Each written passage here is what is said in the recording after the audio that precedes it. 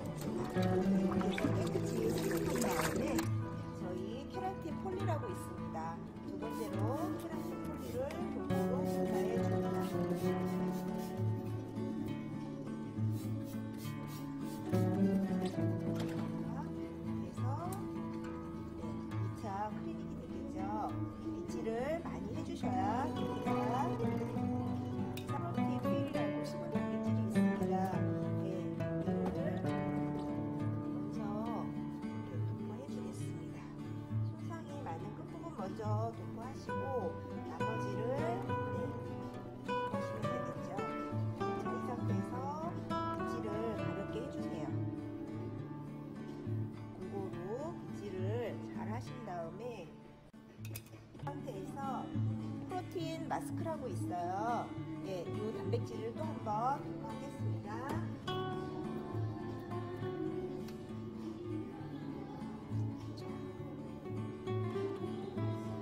케라틴에 있는 예, 피카에 있는 예, 단백질들을 모든 것을 다 입혀줬어요. 이 상태에서 케라틴 핫 오일이라고 있어요.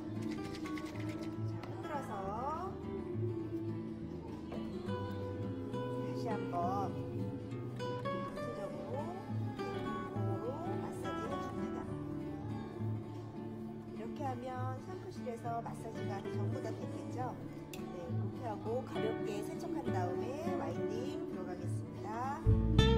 네, 피카에 어, 먼저 우리 고객님 모발을 보시면은요 이렇게 쫙 달라붙어 있어요. 그래서 어, 뿌리를 먼저 살리는 거를 우선적으로 하겠습니다. 그래서 어, 피카에 어, 더블로 어, 뿌리 살리기 한번 해볼게요. 자, 길게 슬라이스를 길게 떠주세요.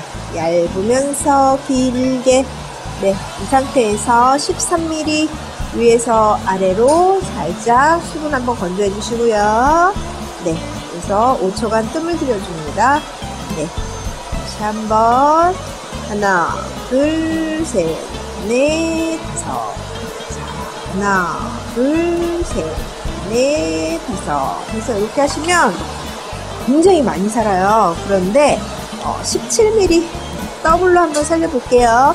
피카의 장점이죠. 하나, 둘, 셋, 넷, 다섯. 자, 살짝. 네, 이 상태에서 다시 한번.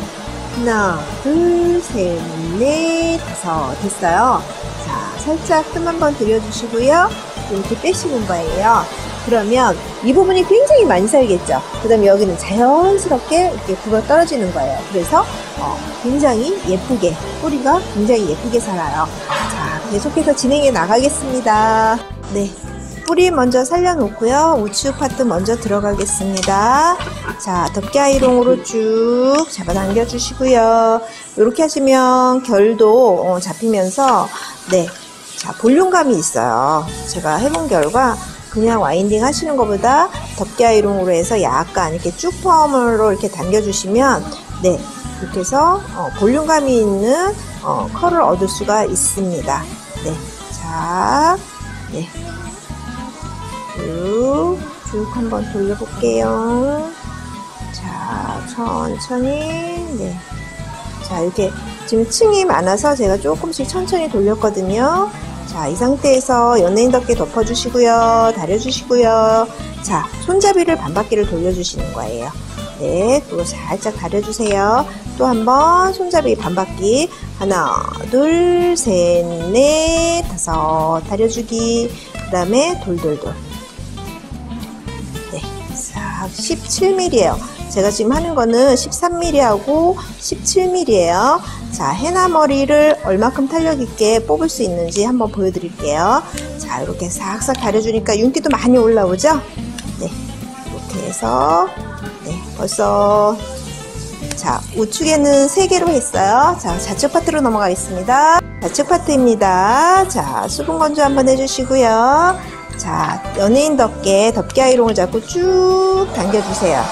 그러면 그 결도 어, 잡히면서 볼륨감이 있는 어, 그런 펌을 얻을 수가 있습니다. 자, 이렇게 살짝 가려주시고요. 자, 그 다음에 와인딩 들어가겠습니다.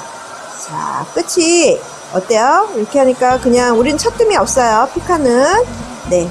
자, 이렇게 해서 네, 끝이 다 들어가면 연예인 덮개를 덮어주세요. 하나, 둘, 셋, 넷, 다섯. 다려주기. 자, 잡은 상태에서 반바퀴. 하나, 둘, 셋, 넷, 다섯. 다려주기. 자, 이 상태에서 반바퀴. 하나, 둘, 셋, 넷, 다섯. 다려주기. 그 다음에 돌돌돌.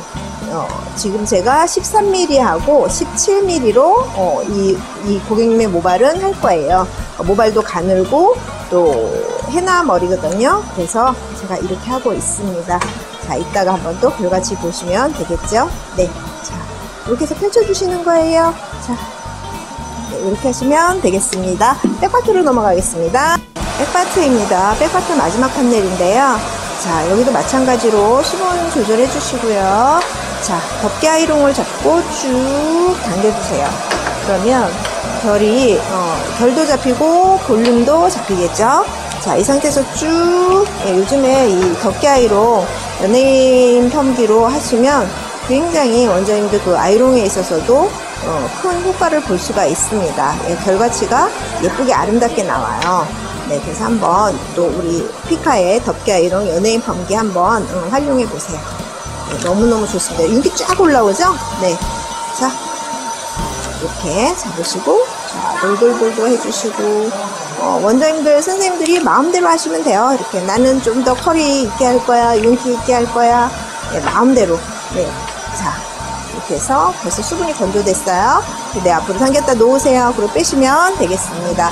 그러면 우측에 하나, 둘, 셋, 좌측에 하나, 둘, 셋, 여섯 개예요. 일곱, 여덟, 아홉, 열, 열하나, 앞에 열두 개를 해서 와인딩 끝났습니다.